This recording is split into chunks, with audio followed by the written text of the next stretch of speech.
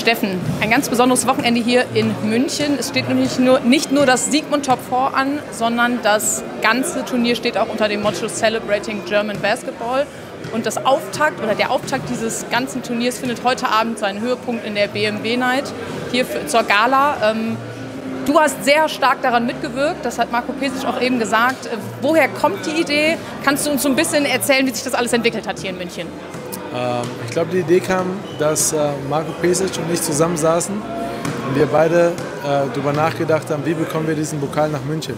Und, äh, okay, okay, und, äh, Ansage. dann war natürlich die äh, Idee, wir müssen unbedingt, was seit Jahren schon ausgestanden ist, die Vergangenheit aufleben lassen.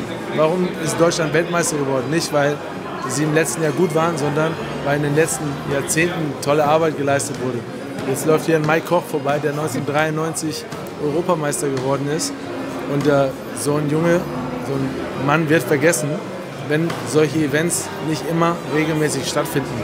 Und äh, das lag uns sehr, sehr ja, am Herzen, viele, ganz viele ehemalige Legenden äh, nach München zu bringen und eben solche Abende wie heute, die sicherlich unvergessen bleiben, aber hoffentlich wiederholt werden. Auf so einer ganz organisatorischen Ebene, wie lief das dann? Du hast jemanden angerufen, Marco hat jemanden angerufen und dann hat sich das irgendwie verselbstständigt und dann formte sich das so oder wie kann man sich das vorstellen von außen? Ja, es war so. ähm, wir sind beide unsere Telefonbücher durchgegangen und cool. Kontaktlisten über Kontakte nochmal einen anderen Kontakt bekommen ähm, aber ich äh, garantiere euch, es war nicht einfach. Und äh, als Spieler, man hört immer von Trainern, oh, ihr Spieler seid nicht einfach. Ähm, ich war selber Spieler, habe das nie glauben wollen, aber jetzt weiß ich, wenn man mit sogar Ex-Spielern ähm, Sachen, Events, was auch immer organisieren will, es ist nicht einfach, weil immer irgendwas ist mit tausende Fragen. Ja, kleiner Insight, 40 Minuten bevor der Abend hier losging, habe ich Patrick Femerling angerufen und meinte, er hat seine Anzughose vergessen. Auch nur die Hose. Gott sei Dank nur die Hose. Sowas? Wie er passiert ist, sowas? Er hat jetzt eine Hose, weil wir als FC Bayern haben gesagt, wir müssen Patrick Filmen noch eine Hose besorgen, dann hat er jetzt auch eine Hose. Das, ja, wie gesagt, hat ja in die Hose gekommen? Seid ihr in die Innenstadt gefahren, habt eine gekauft, nee, habt ihr die ja, geliehen? Die Zeit war, die, die, selbst die Zeit, Zeit blieb mehr. nicht mehr am Freitagnachmittag in die Stadt zu fahren, weil es hätte zu lange gedauert. Wir haben über Connections, unser Individualtrainer, äh, der ist ein großer Junge, den haben wir die Hose einfach abgezogen. ist das geil. Also wir haben alles Menschenmögliche gemacht, gemacht ja. dass hier dieser Abend so funktioniert, wie er gerade funktioniert. Und also ich sehe nur glückliche Gesichter ja. da oben. Ähm, und ich hatte Kontakt mit jedem Einzelnen von denen, die hier sind, sprich Legenden. Und alle sind sehr, sehr dankbar, hier zu sein.